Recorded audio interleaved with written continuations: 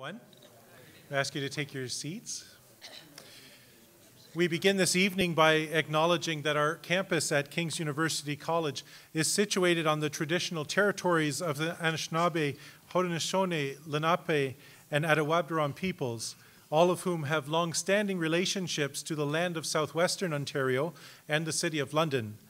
The First Nations communities of our local area include Chippewa of the Thames First Nation, Oneida Nation of the Thames, Munsee Delaware nations. And in our region, there are 11 First Nations communities, as well as a growing indigenous urban population. King's University values the significant historical and contemporary contributions of local and regional First Nations and all of the original peoples of Turtle Island, also known as North America.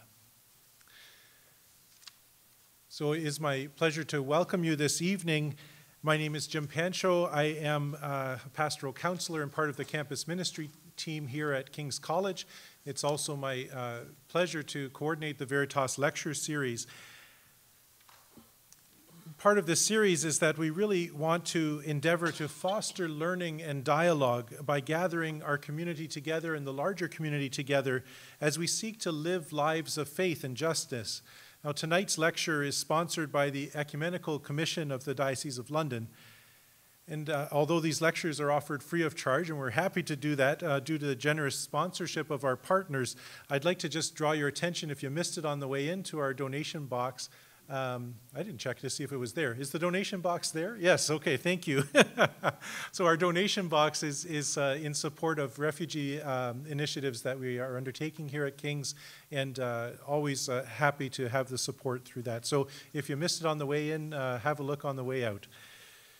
So, we continue our, our series this year on the theme of building bridges over walls, and we're pleased to welcome Archbishop Donald Bolen who is here from the Archdiocese of Regina, Saskatchewan. Bishop Bolen did write the book, or at least edited the book, on uh, ecumenical dialogue. And I have it here. Anyway, I'll show it to you later. If you want to have a look, it's a wonderful work on, uh, on unity. As a member of the Pontifical Council for the Promotion of Christian Unity, co chair of the International Anglican Roman Catholic Commission for Unity and Mission, and co chair of the Joint International Commission for dialogue between the World Methodist Council and the Catholic Church, Archbishop Bolen is a wealth and brings a wealth of experience to share with us this evening.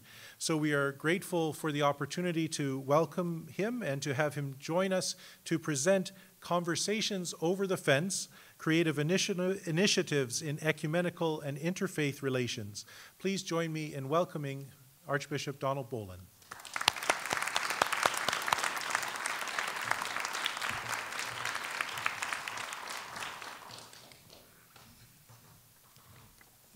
Thank you very much. It's a great joy to be uh, here with you this evening. So, thank you to the organizing team for the uh, invitation to take part in this lecture series. Uh, the overall theme, uh, building bridges over walls, is perhaps even more timely than when the organizers came up with the topic. Uh, so, um, your your college, uh, no, I'm going to get this.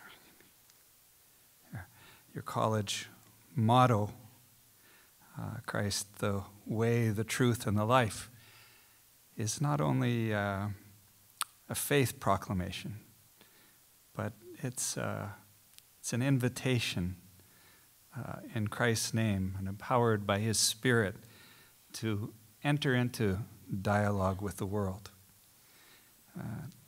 Theme bridges over walls challenges us to that this is your, your blurb here challenges us to find new ways of overcoming obstacles and living the gospel of bringing about healing in christ's body and to foster the church's witness in the wider community.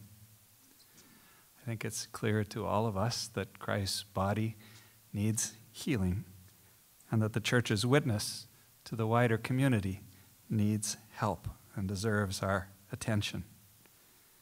In the incarnation, Christ plunges into the human experience and invites us to do the same. In choosing a topic for my presentation this evening in dialogue with Deacon Jim, We chose a theme which covers a lot of territory. It's not a specific academic exploration, uh, but it's more about a way in which the church is called to be a church engaged in the world around us. It's intended, I think, to be a summons to be a church that creatively is ready to embark in a whole range of conversations with others as a way of faithfully living as disciples of Christ. So instead of a, a rigorous, systematic paper on one of the dialogues that I have the privilege of serving, this evening is going to be something of a, an exploration of possibilities around ecumenical and interfaith dialogues or encounters. It's going to be an encouragement to express your faithfulness creatively. It's going to be a summons to increasingly take up the risk uh, and the adventure of dialogue with other Christian communities and with other faith communities and other peoples, those in a special way who are marginalized or victims in a systemic way of injustice. This Veritas series for faith and culture, uh, I read on the website, endeavors to foster learning and dialogue by gathering our community together as we seek to live lives of faith and of justice. So it draws a relationship between uh, dialogue and truth, and it draws a relationship between dialogue and the work of justice. So I hope that we'll ponder those relationships and what it means to build bridges over walls in the context of ecumenical and interfaith relations. I thought the series had something of a poetic title, and it reminded me of uh, one of the first poems I ever learned, uh, which is perhaps a poem that you learned early in life as well, which is Robert Frost's uh, Mending Wall. Uh, so I thought we'd start by looking at a few verses of this uh, to, to set the tone about walls and bridges. Something there is that doesn't love a wall, that sends the frozen groundswell under it and spills the upper boulders in the sun and makes gaps even two can pass abreast. I let my neighbor know beyond the hill and on a day we met to walk the line and set the wall between us once again. We kept the wall between us as we go to each the boulders that have fallen to each, and some are loaves and some are nearly balls. We have to use a spell to make them balance. Stay where you are until our backs are turned. There where it is, we do not need the wall. He is all pine, and I'm apple orchard. My apple trees will never get across and eat the cones of his pines. I tell him. He only says, Good fences make good neighbors. Spring is the mischief in me, and I wonder if I could put a notion in his head. Why do they make good neighbors? Isn't it where there are cows? But here there are no cows. Before I built a wall, I'd like to know what I was walling in and walling out and to whom I was likely to give offense. Something there is that doesn't love a wall, that wants it down. I think this series is about efforts to engage in conversations rather than to build walls. Something there is that doesn't love a wall inspired this series, I think, and hopefully also this evening's presentation. First part of the presentation is on dialogue as constitutive of the church. I went to uh, Google Images and uh, found a few images that came up when I typed in over the, over the fence. and uh, when we engage in dialogue over the fence, uh, there are risks. It's a little dangerous. we might get tossed. But the basic metaphor of over the fence suggests meaningful communication. And meaningful communication not on the level of universal churches and commissions and structures, but in our daily lives, in our quotidian world.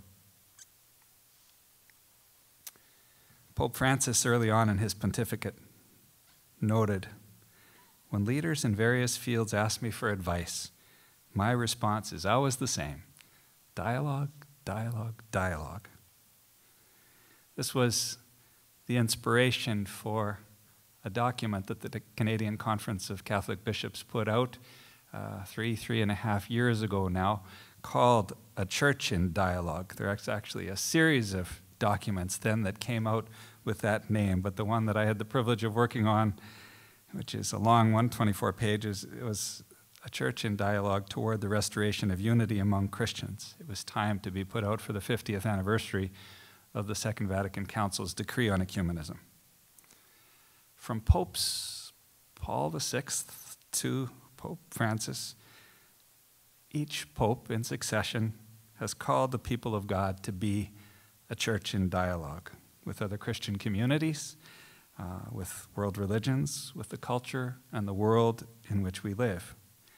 A number of the pontifical councils in Rome, the Pontifical Council for Promoting Christian Unity, for Interreligious Dialogue, for Culture, all basically have the task of engaging in dialogue on behalf of the church. And they're all trying to foster local dialogue as well. In Canada, too, over the past 50 years, we've become a church engaged in dialogue for the promotion of justice, of peace, for the common good, in evangelization, in relationship with other Christian communities and other world religions. Our document made a statement which I think could not have been made prior to the Council. The dialogue has become constitutive of how we as Catholics live our faithfulness to God in the contemporary world. The document was clear to say that all of these dialogues are grounded in an understanding of who God is, and that God has entered into a relationship with us human beings, entered into a dialogue with us. Uh, we are created in the image and likeness of God, and while we can ponder exactly what that means, one of the things it means, surely, is that we are created in such a way that we can be in dialogue with God and that God addresses us. God addresses us in dialogue through the human condition and through all of our experience. And God addresses us in dialogue uh, through the prophets, through history, and above all, in the fullness of revelation through Christ. So the document uh, noted that we are called to be a, uh, a church in dialogue because the triune God has entered into dialogue with us and has shared with us the mission of the incarnate Word in the world. Dialogue is a fruit of the council. It was not foreign to the church prior to the Second Vatican Council, but it was in the conciliar period. The dialogue really entered into the vocabulary, the daily vocabulary of the church, uh, and the vocabulary, in a special way, of the Vatican. In August 1964, in the midst of the Second Vatican Council, uh, Pope Paul VI issued uh, an encyclical, Ecclesiam Suam, in which he identified dialogue as a foundational means by which the church is to carry out its mission. It's interesting to note that that's encyclical, very much in the same spirit of John the 23rd's Pacem in Terris that came out a year earlier, uh, differs in one significant way. Pope John never uses the word dialogue, whereas Pope Paul VI uses the word some 66 times, and it becomes the governing theme of the last part of that encyclical. So, Ecclesiam Suam argued that dialogue was very much a part of the plan of God, that God initiates and enters into conversation with the human race. Pope Paul 6 speaks of salvation history as the long and many splendored conversation between God and humanity, and in turn invites the church to enter into dialogue with the world, with humility, with clarity, with trust. How do we enter into dialogue? How does the Second Vatican Council call us to enter into dialogue?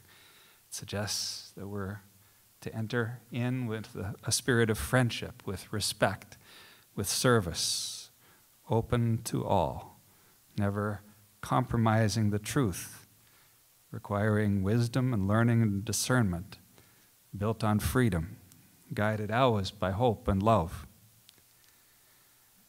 For too many centuries, relations between the Catholic Church and other Christian communities and churches and relations with other religions were very polemical and apologetic in a negative sense. Uh, the Second Vatican Council calls us to enter into dialogue, living out the basic gospel virtues of respect, recognition of the religious freedom of the other, and as we'll see in a moment, with the possibility of learning, genuine learning from the other. So, Gaudium et Spes, Church in the Modern World, summons the faithful to establish dialogue with the world and with people, this is important, of all shades of opinion, and identify sincere and prudent dialogue as an intrinsic key to the rightful betterment of this world in which we all live. Following the Second Vatican Council, the Catholic Church, through successive popes and in, on national levels, uh, fostered dialogue. Pope John Paul II's lengthy pontificate uh, was marked by a profound engagement with the world. He viewed dialogue, I quote, as an indispensable step along the path to human self realization, the self realization both of each individual and of every human community. His travels frequently involved dialogue with other faith leaders. I worked in Rome at the Pontifical Council for Promoting Christian Unity for seven years, from 2001 to 2008. So during that time, had the opportunity of serving both under Pope John Paul II and, and Pope Benedict XVI. And Pope Benedict very much continued the thrust towards dialogue. He focused in a significant way on faith and reason, both having to have their rightful place to become capable of that dialogue. He wrote, that dialogue of cultures and religions so urgently needed. He called forth a dialogue which was grounded in a genuine mutual search for what is true, good, and beautiful.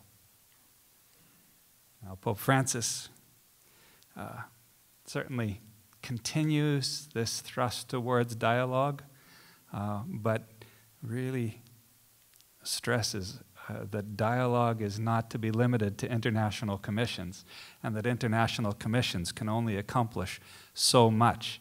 He calls for a culture of encounter, a culture which is imbued within the church, which is imbued with a desire to enter into conversation with others, including others who differ from us.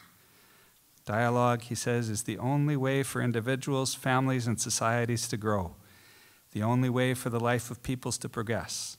Either today, either we stand together with a culture of dialogue and encounter, or we all lose. We all lose. He describes dialogue as making room for the other, for another point of view. He wrote, We're challenged to be people of depth, attentive to what is happening around us and spiritually alert. To dialogue means to believe that the other has something worthwhile to say and to entertain his or her point of view and perspective. Engaging in dialogue does not mean compromise, does not mean negotiation. It doesn't mean renouncing our ideas or our traditions, but it means recognizing that the other will have valuable things to contribute to us. We're going to talk a little more about ecumenical learning in a little bit. In summary, of the value of dialogue, our, our text, The Church in Dialogue, uh, said this. Recent popes have called the church to be in dialogue with the world around us for multiple reasons. Because God is in dialogue with the world in human history and summons us to share in this redemptive dialogue, to witness to God and Jesus Christ through the power of the Holy Spirit in a way that can be heard and understood, to build up the common good, drawing a special attention to those in need and laying foundations for peace, to benefit from the mutual enrichment which comes from genuine dialogue, and to build a culture which addresses its tensions and conflicts and the great challenge of living together through dialogue. In the Catholic Church, we have a, a robust ecclesiology, a, a self confidence that God is very much at work in our church. And at some points in the past, that has meant that we have not opened ourselves to dialogue with others. We would argue today, rather, that that robust confidence that God is in work in us should translate into a desire to be in dialogue with others, to see what God is doing in the life of others, and to look for the mutual enrichment that dialogue brings. So, the first challenge of the evening is uh, the need to express the need for creative efforts, a, a dialogue at all levels of the church's life. To dialogue is human. The ability to dialogue enhances life in, in so many ways. It is a basic human skill and a Christian way of living, resolving conflicts, dealing with differences. And dialogue is deeply enriching for participants. As Annie Dillard, perhaps my favorite writer of all time, says about the life of the mind, we can say about a life of being in dialogue that despite some appalling frustrations, it is the happiest life on earth. Such dialogue can be fully within the parameters of church teaching. Dialogues don't need to be formally structured, they don't need to be organized in order to, in, in a systematic way, in order to enrich you or the dialogue partner. Dialogue begins with paying attention to living with people who have differences from ourselves. So, how we're going to proceed for the rest of the lecture. We're going to look, first of all, at ecumenical conversations, and in particular, two initiatives, and I'll invite uh, or raise a practical application for each. Then we'll look to interfaith dialogue, again, putting forth two initiatives and a practical application, and then look to indigenous relations, the Truth and Reconciliation Commission, and spiritual and, encountering uh, indigenous spiritual traditions. At the latter part of this, we might end up accelerating the pace and skipping a little bit because the idea is to finish by about 8.30 or 8.35 to leave at least 25 minutes for a question and answer. I'm going to be drawing on some of the dialogues that I've been able to, privileged to participate in on an international and national level and uh, we'll tell some stories along the way and try to make some fairly straightforward points that can help us on the path of dialogue. So, first of all, ecumenical relations. If we're talking about conversations over a fence, uh, as Robert Frost suggests, perhaps it's not really a fence that's called for between Christian brothers and sisters. If it's a fence, it's a low fence where we can easily reach across. The Second Vatican Council laid out the principles for uh, conversations, dialogue with other Christian communities. It suggested that we were all responsible for divisions and that all Catholics are called to work towards and pray for reconciliation. It talked about our divisions as really being a scandal, a scandal of disunity. And it made a shift. Uh, the shift was most deeply evident if we look at the way in which, at the middle to late part of the 19th century, we had two words to describe other Christians. They were heretics, that is, Protestants, or they were schismatics, that is, Orthodox. With the Second Vatican Council, our vocabulary crystallized such that we recognized other Christians as brothers and sisters in Christ and other Christian communities as being in a real but incomplete communion with the Catholic Church. So, uh, here are some of the international uh, dialogues. Uh, the, this is a full listing of the Pontifical Council for Promoting Christian Unity's dialogues on a, on a world level. And uh, Bishop Linda, who's here this evening, is a member of the International Anglican Roman Catholic Dialogue. And as I'll share in a moment, we, for many years, had the privilege of co chairing the National Anglican Roman Catholic Dialogue. And here are some of the Canadian, Canadian Catholic uh, dialogues. But dialogues are not meant to be reserved to international or national commissions. Much creative dialogue takes place at the local level. In his book, Crossing the Threshold of Hope, Pope John Paul II asked why the Holy Spirit permitted so many divisions between Christ's disciples through the centuries. And he queries Could it not be that these divisions have been a path continually leading the church to discover the untold wealth contained in Christ's gospel and in the redemption accomplished by Christ? Perhaps all this wealth would not have come to light otherwise.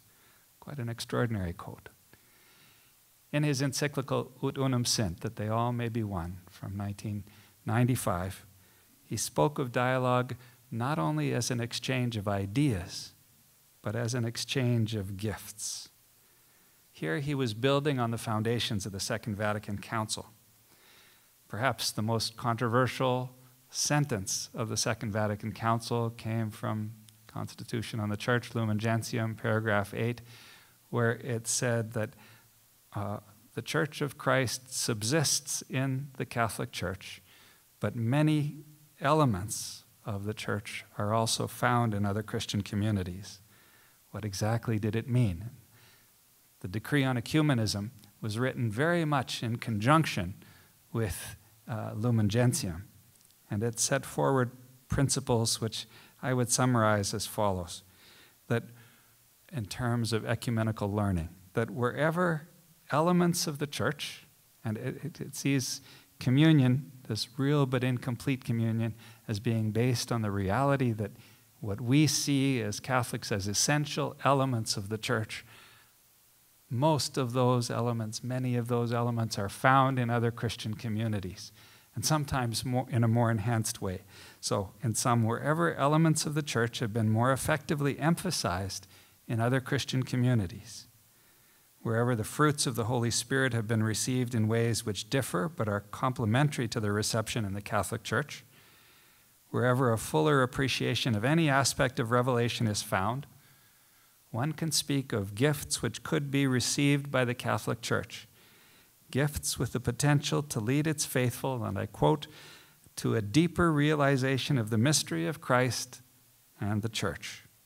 So the decree on ecumenism is not minimalist about what the Catholic Church can gain by entering into dialogue with other Christian communities, with other churches. In one of the most beautiful sentences in John Paul II's Ut Unum Sint, he notes ecumenical relations over the past decade, and I quote, have enabled us to discover what God is bringing about in the members of other Christian communities, Christ- churches, and ecclesial communities. And Evangelii Gaudium, uh, Pope Francis stresses the importance of trusting other Christian communities. If we really, I quote, if we really believe in the abundantly free working of the Holy Spirit, we can learn so much from one another. It's not just about being better informed about others, but rather about reaping what the Spirit has sown in them, which is also meant to be a gift for us. So, the first movement that I want to speak about here under ecumenism is called receptive ecumenism. It's about learning from others and being on the lookout for ways to learn. Where can we learn in relations with other Christians? How and where can our church adapt a stance of learning, a posture of learning? And how might that enhance our own ecclesial life? The implied notion here is that there's an untold wealth to be found in other Christian churches. And, an under, and that's the underlying assumption between this, this movement called receptive ecumenism. Paul Murray is a, an English Roman Catholic lay theologian, and he coined the phrase, uh, and uh, his, his framework is fundamentally the framework of the Second Vatican Council. He argues that on the one hand, uh, our, our longed for, long desired uh, full visible communion with other Christian churches is probably a, a long way off. In the short to, to medium term, that goal is recognized as unrealistic. But he also sees that it's essential that we continue to work towards that full visible unity. He strongly affirms that the church cannot let go of its ecumenical enterprise just because it gets tough. Sorry, I've already hit that one. So, Paul Murray takes us on, a, takes our pluralistic context as a given, and he suggests that the key question of our age is whether we can live difference for mutual flourishing rather than mutually assured destruction. Murray's particular focus is on learning from the differences in other Christian communities. Receptive ecumenism in the, is, in the first instance, an ethic. In the context of division, it invites churches to move away from competition with each other and instead to attend to and act upon uh, our responsibilities vis a vis the other.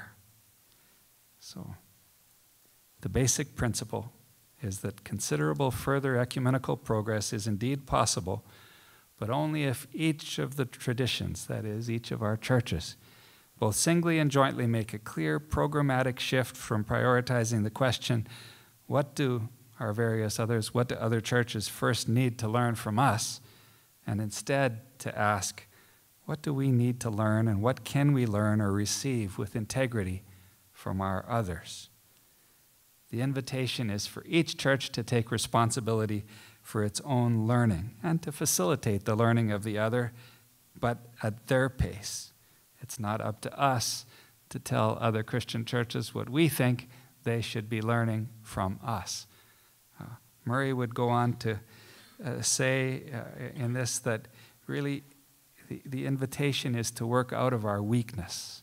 Uh, we're so tempted when we enter into ecumenical dialogue to work out of our, our strengths, but he encourages us to, to work out of our weaknesses. He says today, and I think you would resonate with this, that Many in the church see ecumenical work as uh, a good thing, but it's kind of an optional extra. And there's a lot of other things that we need to do, and pastors and those in church leadership feel a lot of stress, so many things we should be doing. And he said, we really need to move to a different kind of thinking where we engage in ecumenical relations so that we can be enriched, so that our life as church can be much more uh, enhanced and rich. I have a cartoon on my desk which shows a plane, and it says, Yes, we are really moving, and there is no reverse. Uh, yesterday at the Vatican, Pope Francis said, Ecumenism is not optional. The search for Christian unity is essential to Christian faith. So. There's a there's a basic humility which is built into receptive ecumenism. Um, traditionally, in ecumenical, I mean, frequently, I would say, in ecumenical relations, we do, Paul Murray says, bringing out our best tea set, our best china tea set. We want to look good in front of the other. So, what we bring into conversation with the other is the things that where we're feeling really strong. And he says, that's not helpful. Uh, we need an ecumenical encounter which is deeply honest and which especially brings forth the areas in the church where we're struggling and struggling deeply, and looking to where the other, the dialogue partner, can enrich us. This is instead of a best China tea set ecumenism, it's what he calls an ecumenism of the wounded hands. And we need to show other those, those wounds rather than conceal them. Murray suggests that the learning that could take place with a receptive ecumenism model would make each Christian community more authentically itself. The Catholic Church would become more Catholic, more fully and richly Catholic, more fully and richly the Church of Christ, and more clearly the sacrament of intimate union with God and with the unity of all humankind. So, here, receptive ecumenism is about the intensification, complexification, further realization of one's ecclesial identity, not its diminishment and loss. The challenge is for each tradition to become more fully itself, more fully the church by, of Jesus Christ by learning from the richness of other traditions. So, to end this little section, where do we foster or where can we cultivate that attitude of learning? Where can we look for encounter with the other as an opportunity to be enriched? Where can we do that on a local level, not leaving it to dialogues that take place internationally? The second motif that I want to pick up on is uh, about walking together. Sometimes conversations uh, over the fence lead to uh, walking together. This is another Pope Francis quote on receptive ecumenism, but I'm going to zip past it here. Okay, so here we go. Sometimes uh, walking together actually invites leaping over the, the fence uh, to walk with, to accompany the other. So, uh, the main part of this footnote is a quotation from uh, the Ecumenical Directory, a key Catholic source guiding our ecumenical engagement. Uh, and it talks about how we can make a, better contribution when we act together, and indeed that we should act together. It's a reformulation of an old principle from the World Council of Churches from 1952 called the Lund Principle that Christian churches should do all things together except where deep differences require that we act separately. Pope Francis, in celebrating the two, in marking the 200, uh, the 500th anniversary of the Reformation, really endorsed that Lund principle. The fact is that uh, we don't live that way. We do most things separately, except where extraordinary circumstances force us to act together. How do we flip that? I want to talk about two Anglican Roman Catholic initiatives. The first on an international level, and it's a commission that I chair. It's uh, called the Commission for Unity, that I co chair, Commission for Unity and Mission. And, uh, the fall, uh, September, October of 2016, uh, Pope Francis and the Archbishop of Canterbury, Justin Welby, invited pairs of bishops from 19 different parts of the world uh, to come together and uh, we met with them first in Canterbury. We met with the Archbishop of Canterbury. Then we went to Rome. The Archbishop of Canterbury came along. And uh, there was a prayer service where we were commissioned as pairs.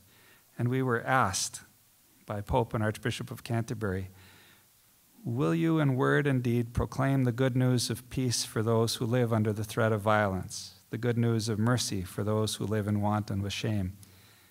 the good news of justice for those who are oppressed? Will you strive to be united in preaching the gospel in word and deed, united in serving those who are vulnerable and marginalized? We were told as we were commissioned that the next day we were going to receive a, a Lampedusa cross, and I, I brought mine here this evening. So this is, uh, we didn't know what to expect. Uh, but most, of, most often, when bishops told, are told they're going to be given a cross, they think uh, a, a pec- pectoral cross. Uh, none of us knew exactly what a Lampedusa cross was, uh, but I should have figured it out. Uh, Lampedusa is an island off of Sicily, and it's an island where many boats have capsized, boats carrying asylum seekers from North Africa. It's a place where thousands of bodies of asylum seekers have come drifting to, to shore. It's a place where uh, many, many ships have, have capsized, have sunk, and the dreams of people have died.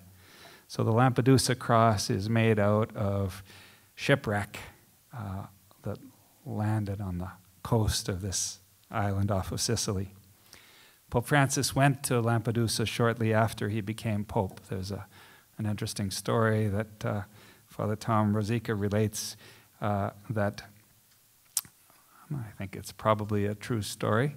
The Italians say, si non è vero, è ben trovato. If it's not true, it could be or it should be. But the story is basically that uh, uh, Pope Francis asked very soon after becoming Pope to go to Lampedusa. And he was told by those he worked with most closely that there's a lot of places in the world that he might want to visit and he should take his time and think about it, right? And he said, Good, good, but I really want to go to Lampedusa. And then the encouragement was, Okay, but it takes like a, a year, 15 months to organize a papal visit. And uh, he said, I want to go now. and uh, the response was not very forthcoming. And then the Secretary of State got a phone call uh, from Alitalia saying, I just need to let you know that Jorge Mario Bergoglio has booked himself on a flight to Lampedusa. So he went three or four months after becoming Pope. And uh, there he proclaimed uh, in a homily these brothers and sisters of ours were trying to escape difficult situations, to find serenity and peace. They were looking for a better place for themselves and their families but instead they found death.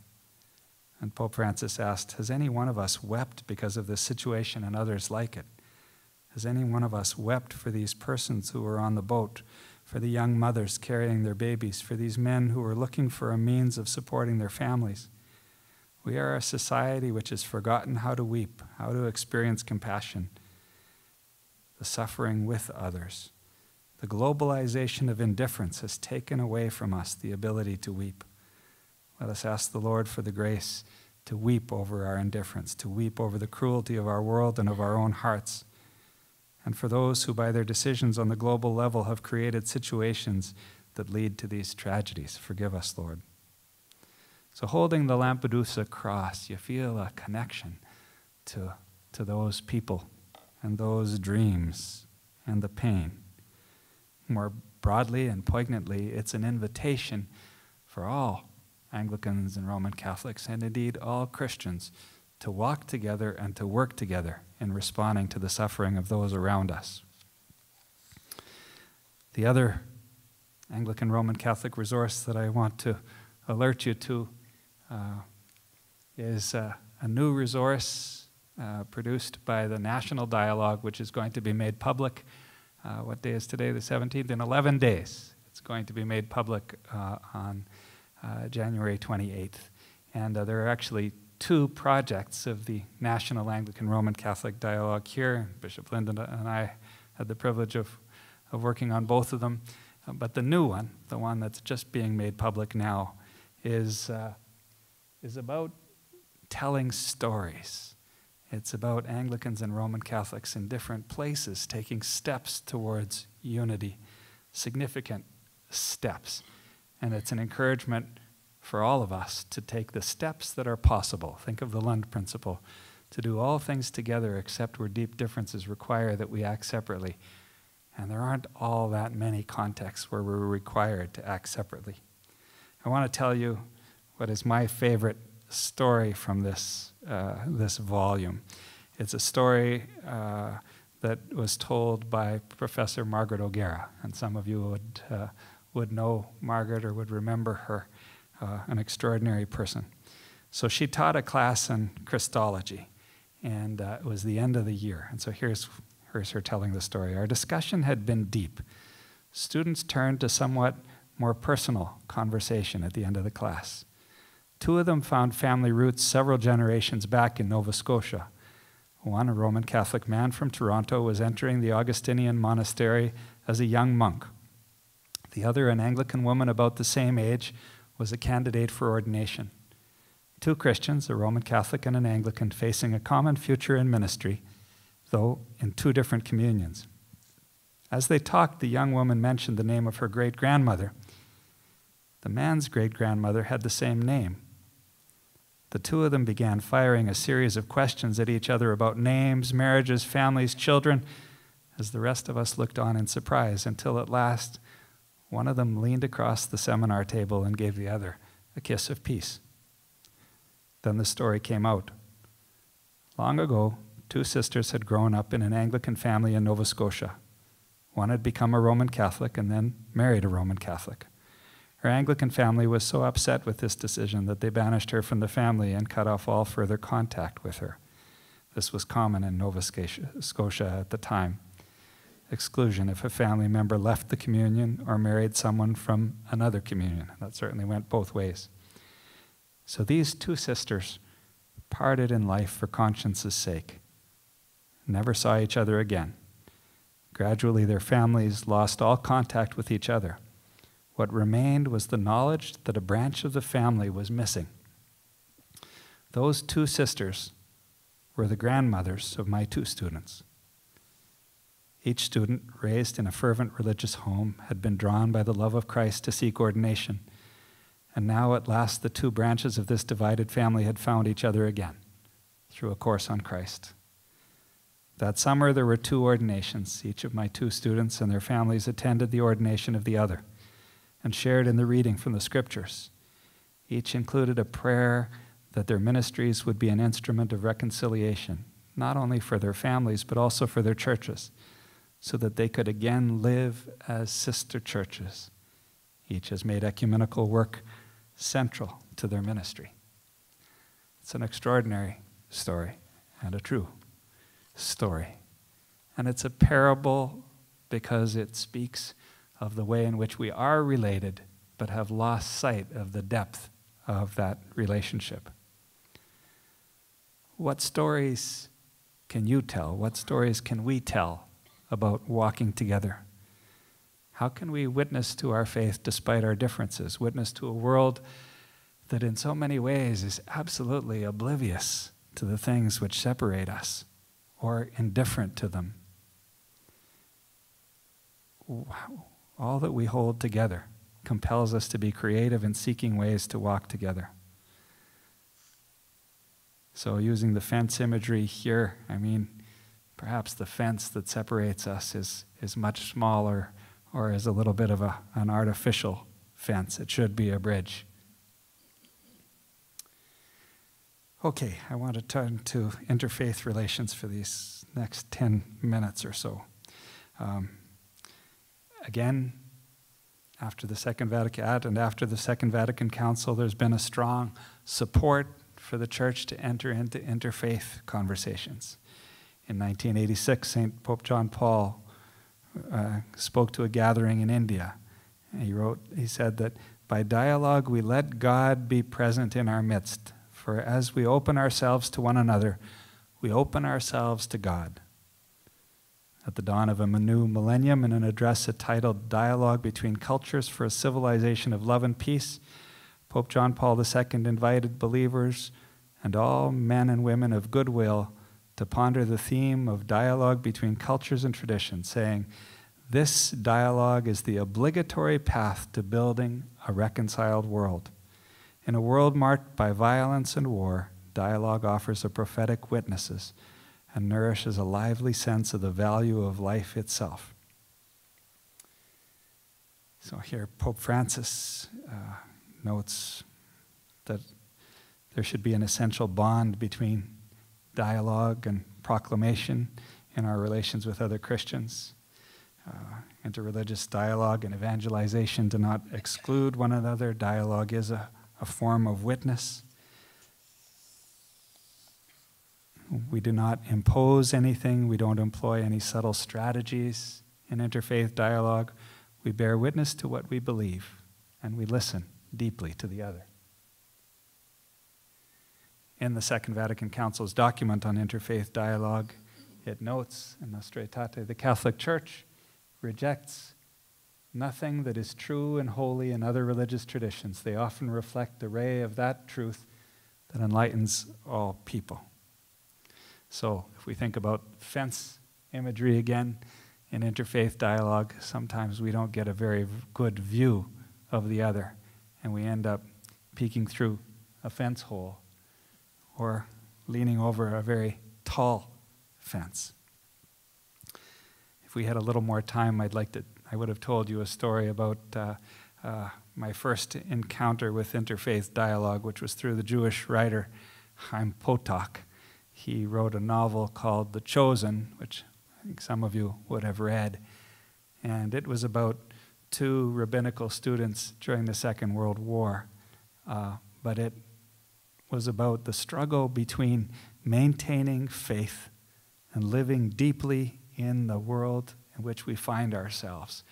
And uh, those novels, that novel and other novels by Potok, were really key to my own entering, entering into the seminary.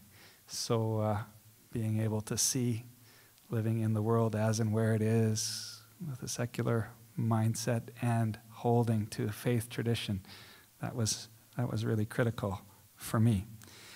Uh, I looked for an occasion to be involved in Jewish Christian relations, and I worked in Rome and the Pontifical Council for Promoting Christian Unity was headed by the same cardinal and secretary, Cardinal Kasper, Bishop Farrell, as the commission, the Vatican's commission for relations with the Jews. But we were kind of compartmentalized in our work. I heard during my time in Rome about a movement called scriptural reasoning, which brought biblical scholars, Talmudic scholars, Quranic scholars together to share in a reading of texts on common themes and to unpack for the other uh, what those texts meant. They called it eh, gathering in the tent of meeting. I tried to initiate something like that when I was in Saskatoon, uh, but there weren't enough Quranic scholars and Talmudic scholars to really get it going.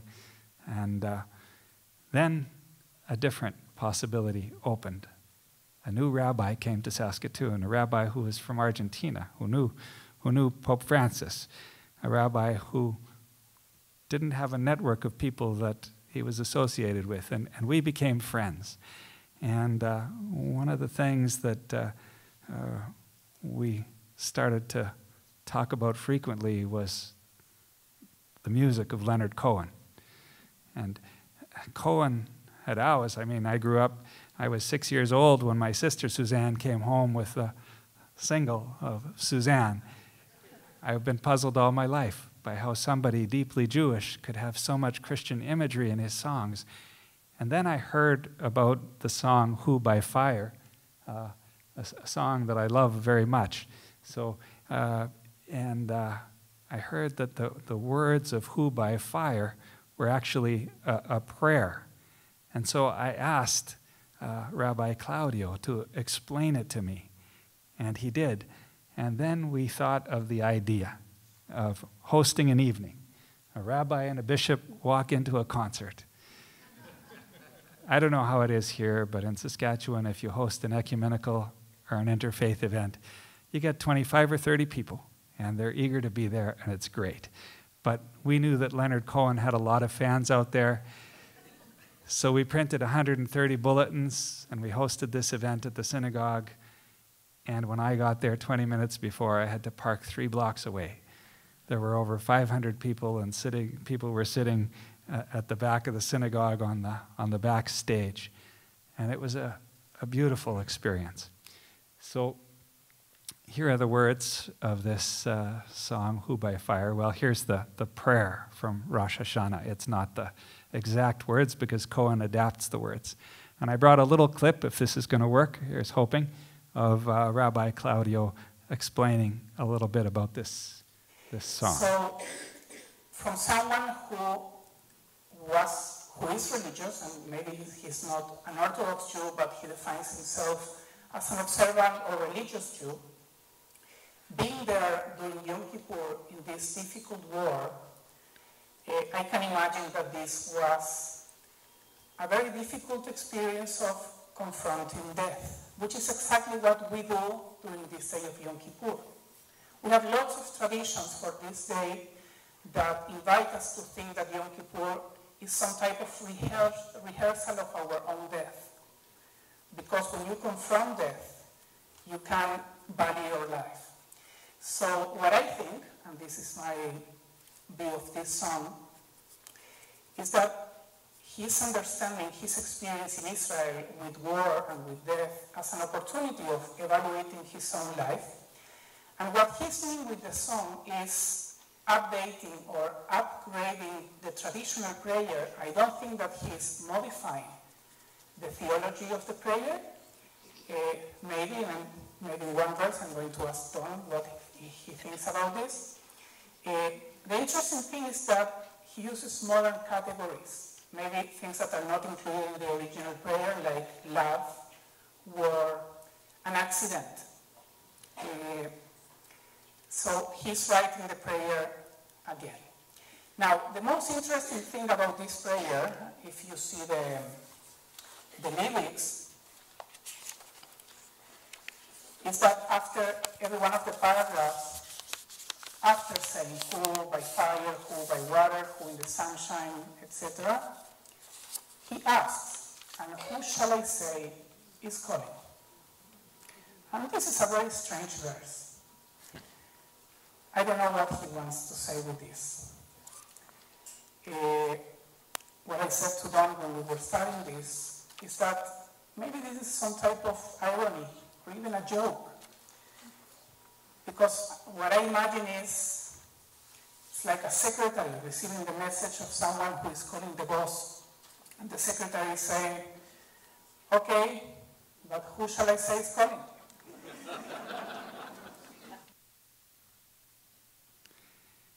The friendship that formed between Rabbi Claudio and I led to other things. He said to me one day, We've got our Holocaust survivor coming, and uh, the biggest facility that we have is a few hundred people, and we'd like to invite uh, many more. You have a new cathedral that seats 2,000. Do you think we could use your cathedral to host the Holocaust survivor? And I said, Nothing could make us happier. And the Holocaust survivor came, Nate Leipciger from Toronto, and uh, Rabbi Claudio spoke. I spoke about the pain of our anti Semitic history. And uh, it was an extraordinary event of reconciliation that over 2,000 high school students from the city were able to witness. The same thing has now happened in Regina, and we've had more Cohen evenings, even with a new rabbi in a different city. Uh, the invitation here is, first of all, to keep your eyes open to the encounters which are part of daily lives, the interfaith encounters, and to look for ways to, to celebrate those and to draw out the religious depths of them. And to look for ways in which, in which faith and culture can draw us into a dialogue certainly our experience was that that dialogue about faith and culture, centering around Cohen and his lyrics, captured the imagination of people more than anything else that we had tried to do in the public sphere for a very long time. And finally, to let friendship between faith traditions be a path to, to justice, uh, because it certainly led us that way. The next slide is something that I'm going to skip over, but it's a, a great initiative uh, of Anglican and Roman Catholic friends of mine in Rome for a series on Islam, uh, which again was really captured people's attention. Uh, I want to take the last three or four minutes to, to talk about relations with uh, our indigenous people. I think that it's the most important conversation that we're called to in the country, in this country at this time. I heard the introduction that Jim gave about the land that we're on. Uh, in Saskatchewan, 16% of our population are uh, First Nations or Metis, so a very significant percent.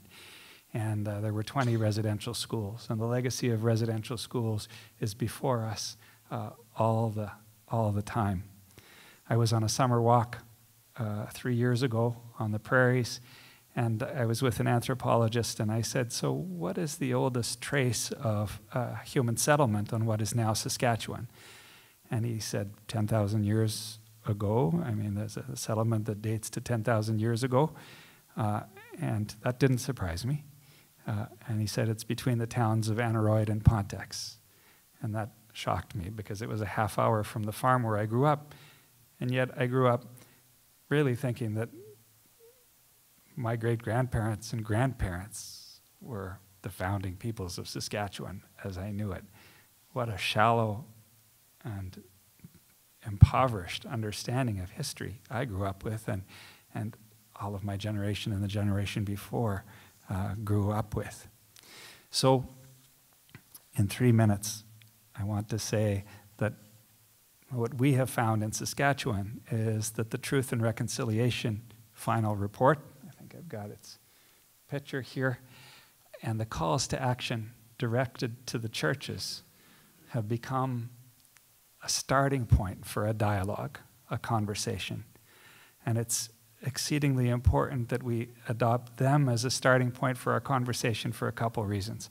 Firstly, they come out of the experience of suffering, an experience of suffering which we as Catholic Church, as, as Catholics in Saskatchewan, uh, religious communities and dioceses were implicated in as we uh, operated uh, residential schools, where language was suppressed and spiritual traditions were uh, indigenous spiritual traditions were pushed aside, uh, and where uh, physical abuse was frequent, and where sexual abuse also took place. Right? Uh, so it's important that our dialogue addresses the pain that we were a part of, and in a systemic way. And secondly, it's important to take the calls to action as a starting point for conversation because they're put forward by Indigenous people. It's reversing the whole colonial uh, mentality where if we are going to do something with Indigenous people, it's like we decide what we're going to do and what we're going to do for them. We now have uh, adopted their saying, nothing about us without us. Uh, and it's precisely because the calls to action are articulated and addressed to the churches are articulated by Indigenous people that we receive them as a, as a beautiful invitation to a conversation. For a while, we became discouraged because some of the calls to action are pretty difficult to achieve, and we were viewing them somewhat as a checklist. And then we had a guest speaker who, in fact, was uh, Murray Sinclair's son, Niigaan Sinclair. And he said, You got to quit thinking of them as a checklist and think of them as a process. He didn't use the word dialogue, but I, I do now, to think of the calls to action addressed to us uh, as as an invitation to engagement and to dialogue. It was great news in some sense that after a painful history with the Catholic Church, the Truth and Reconciliation report didn't say we really want to have nothing to do with Christian churches anymore who ran residential schools, but rather they say they want to be engaged with us. The other key that I wanted to point to here is the importance, when invited, of engaging in dialogue about Indigenous spiritual traditions. The calls to action ask for Indigenous spiritual traditions to be respected. I've had the privilege in the past three, four years of, of going to a number of sweat ceremonies. And in fact, the last two years now, I bring in the new year by going to, invited to and attending a, a sweat. We go out and two years ago it was minus 36, and this year it was a balmy minus 31. Uh, and we drive out to a reserve, reserve and we bring in the new year in a sweat, where you go from about 55 Celsius to about 35 below, and back and forth. Uh, but a beautiful prayer experience. And I've had the privilege of taking part in feasts and pipe ceremonies. And this past year, attended a Sundance for a day. It was the Sundances above all that the churches were so critical of. And to be able to be invited to a Sundance and then to see what a profound experience of prayer it was, was transformative for me and healing, according to the indigenous people who welcomed me, healing for them. So it's a bit delicate taking part in indigenous spiritual ceremonies. You have to be invited. Uh, but how do we how do we look for ways to build relationships with our indigenous brothers and sisters? And again, the calls to action or any other invitation from our indigenous brothers and sisters aren't a, aren't a checklist, but they're an invitation for relationship in which we learn to walk together and to walk together in a new way. That is such a pivotal dialogue for us uh, in this country um, at this time. Time for me to conclude. Um, and I'm going to leave my conclusion aside because it's another three minutes. and and uh, simply say that uh, we've been given uh, a rich tradition in the Catholic Church, uh, uh, a rich heritage, a word that the world needs to hear, but it's not hearing that word very well. And I think one of the ways forward is to cultivate or to develop a posture of dialogue towards others. That doesn't mean we don't stand for things. It doesn't mean we don't stand firmly sometimes and be willing to die for some for things. But most often the tensions in our world and the tensions between ourselves and others are better addressed by rigorous dialogue than by any other means. So let us ask the Lord and let us strive to open ourselves to the Spirit's movement that we might ever more become a church in dialogue. Thank you for your patience and sorry for going over.